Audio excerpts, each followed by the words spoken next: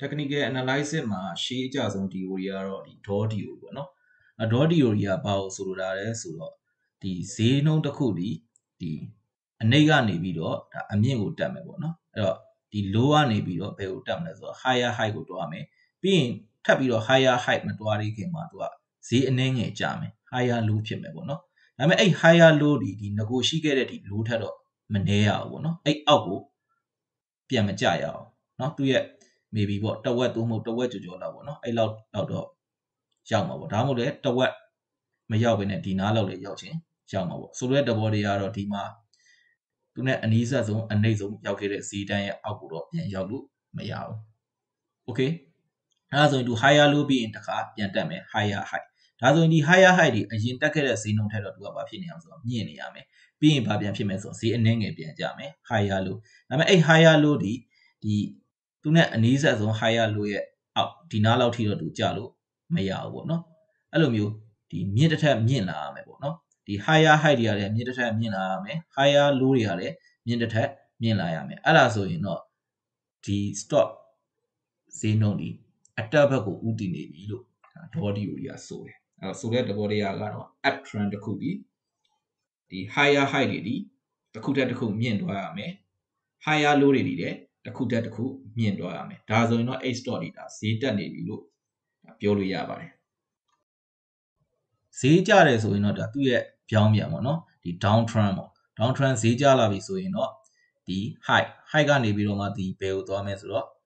lower high ပြီးရင်တော့သူကနည်းနည်းလေးဈေးပြန်တက်မယ်နည်းနည်းလေးဈေးပြန်တက်ပြီးတော့မှသူကဘာပြန်ဖြစ်မှာလဲဆိုတော့ဈေးပြန်ကျမှာပေါ့နော်အဲအဲ့လိုမျိုးဆိုလိုတာဖြစ်ပါတယ်အဲ့တော့ ဒေါ်ဒီယိုရဲ့ဆိုလိုတဲ့သဘောတရားကတော့ဈေးနှုန်းတစ်ခုကြီးတက်နေတယ်ဆိုရင်တောက်လျှောက်တက်နေတာမဟုတ်ဘူး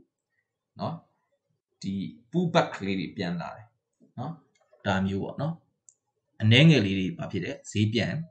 ကျတယ်ဒီလိုပဲဈေးနှုန်းတစ်ခုကြီးကြာဆင်းနေပြီဆိုရင်အနှဲငယ်လေးတော့ဘာဖြစ်လဲဆိုဈေးလေးပြန်တက်ပြီးတော့မှထက်ကြတယ်เนาะဒါကတော့ဒေါ်ရဲ့ up trend နဲ့ down trend အဆိုပြောပြတာဖြစ်ပါတယ်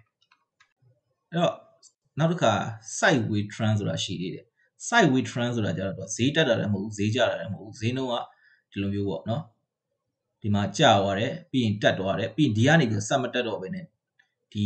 level ရောက်ရင်သူကဈေးနှုန်းကပြန်ကျလာတယ်ဒီလိုပြန်တက်လဲပြီးရင်ဒီ level ရောက်ရင်ဈေးနှုန်းကပြန်ကျလာတယ်ဆိုတဲ့သဘောတရားကဒီအမဲရောင်နဲ့ခြေထားတဲ့ line မှာ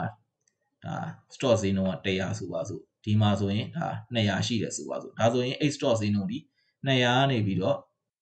ဘယ်ကိုဆင်းမလဲဆိုတော့ 100ကိုဆင်းမယ်ပြီးအဲ့100အောက်ကိုမရောက်ပဲနဲ့အပေါ်ပြန်တက်ပြီး200ဆိုတဲ့ဈေးတောင်ပြန်ရောက်မယ်ပြီးရင်ပြန်ဆင်းမယ်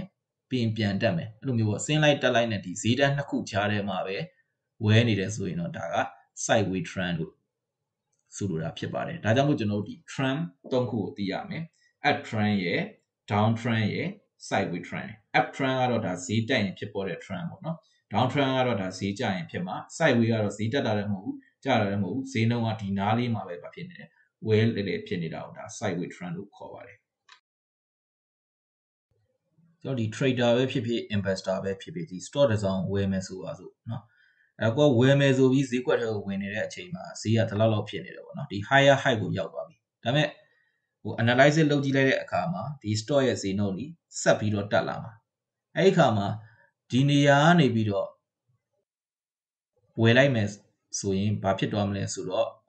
မတန်ဘူးလို့ပြောရမှာပေါ့နော်။ဘာဖြစ်လဲဆိုတော့ဒေါ်တီရိုရီယာဆိုရင်ဒါဈေးနှုန်းကြီးဘာဖြစ်အောင်လဲဆိုတော့ပြန်ကျလာနိုင်ချေရှိတယ်။အဲ့တော့ဒီ trader တွေ investor တွေက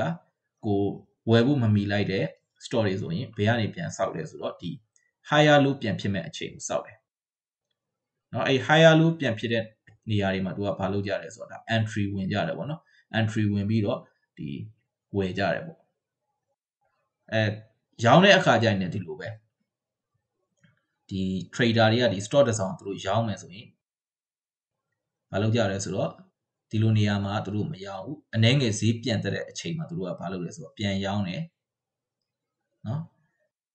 ပြီးရင်ဒီနားလောက်ရရင်လည်းသူတို့အမျက်ယူနေယူတာပေါ့ဒါတွေကတော့ trader တွေရဲ့သဘောတဘာဝပေါ့နော်အဲ့တော့ကျွန်တော်တို့ဒီ investor တွေကတော့အများတော့အဖြစ်ကဒီဆဲထားတဲ့စာရင်သူတို့ buy နဲ့အဓိကလုပ်ကြတယ်ပေါ့နော်ဝယ်ကြတယ်ပေါ့နော်အဲ့ trader တွေကတော့သူကနှစ်ခုလုံးလုပ်တယ် ရောင်းလဲရောင်းတယ်ဝယ်လဲဝယ်တယ်ပေါ့နော်ဘာဖြစ်လို့ဆိုတော့ကျွန်တော်တို့ဒီ CFD market ဆိုတာကနောက်မှကျွန်တော်သက်ဆိုင်ရာအခန်းရောက်မှပြောပြမယ် နှစ်ခုလုံးလုပ်လို့ရတယ်ရောင်းလဲရောင်းလို့ရတယ်ဝယ်လဲဝယ်လို့ရတယ်เนาะအဲ့တော့ဒီရောင်းနေဆိုရင်တော့ဒါခဏ stock ကိုဒါအငှားရောင်းတာပေါ့နော်အဲအဲ့လောက်တော့ကျွန်တော်နောက်ပိုင်းကျမှအသေးစိတ်ရှင်းပြပါမယ်အခုတော့ဒီသဘောတရားလောက်သိထားလဲဆိုရင်ပဲဒါအဆင်ပြေပါပြီเนาะအဲ့တော့ဆိုလိုတဲ့သဘောတရားကတော့ ဒီ dot theory ဒီဘာလို့ဆိုလိုလဲဆိုတော့ဒီ higher height တွေဒီတစ်ခုတည်းတစ်ခုမြင့်သွားရမယ် higher low တွေဒီတစ်ခုတည်းတစ်ခုမြင့်သွားရမယ်ဒီလိုပဲ down trend ဖြစ်တဲ့အခါကျရင်လည်းဒီ lower height တွေကတစ်ခုတည်းတစ်ခုနှိပ်သွားရမယ်ပေါ့နော်ဒါကိုဆိုလိုတာဖြစ်ပါတယ်